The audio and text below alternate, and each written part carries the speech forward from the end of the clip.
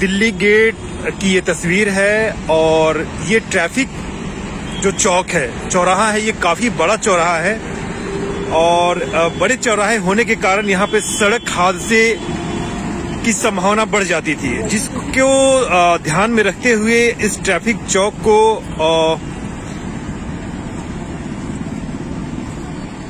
व्यवस्थित चौक बनाने की दिशा में एक प्रयास किया जा रहा है, जिसको अभी एक नया रंग रूप देने का प्रयास किया जा रहा है। और संभवतः ये एक प्रयोग है। अभी ये फाइनल नहीं है एक प्रयोग है। अगर इस प्रयोग से सड़क हादसे कम हो पाते हैं तो आगे इस दिशा में इसको फाइनली फ्रीज कर दिया जाएगा और ऐसे डिवाइडर और जेब्रा क्रॉसिंग बनाए जाएँगे। ये दिल्ली गेट की ये तस्वीर है और ये ट्रैफ़िक चौक है।